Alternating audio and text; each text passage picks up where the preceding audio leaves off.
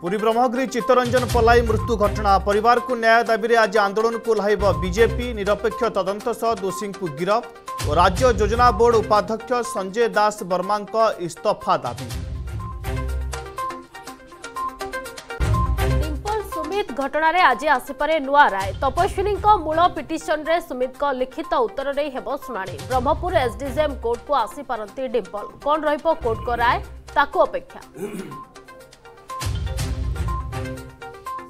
আজ বারাণসী আয়োজিত অখিল ভারতীয় মেয়র সম্মিলনী সম্বোধিত করবে প্রধানমন্ত্রী মোদী উপস্থিত রহবে মুখ্যমন্ত্রী যোগী আদিত্যনাথ ও বিভিন্ন রাজ্যর মেয়র সহরাঞ্চলের সুগম জীবনযাত্রা সুনিশ্চিত করা লক্ষ্য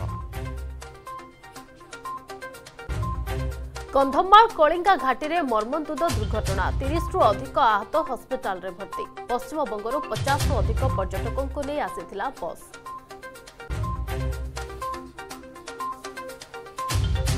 ଖସୁଛି ପାରଦ ବଢୁଛି ଶୀତ ବାଇଶଟି ସ୍ଥାନରେ ତାପମାତ୍ରା ପନ୍ଦର ଡିଗ୍ରୀ ତଳେ ଫୁଲବାଣୀରେ ସର୍ବନିମ୍ନ ତାପମାତ୍ରା ନଅ ଡିଗ୍ରୀ ଓ ଦାରିଙ୍ଗବାଡ଼ିରେ ସାତ ଡିଗ୍ରୀ ସେଲସିୟସ୍ ରେକର୍ଡ ଆହୁରି ପାଞ୍ଚ ଦିନ ରାଜ୍ୟରେ ଜାରି ରହିବ ଶୀତ ଲହରୀ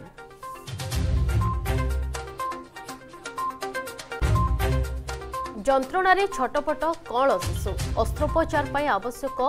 षो कोटि टा सहायता पनि नवीन नवास युवा बाटो उगाडिले सुरक्षाकर्मी हार नानि पोर जीवनपुद्ध चलै बापमा लोक साह्यो सोनुसुद्को अपिल्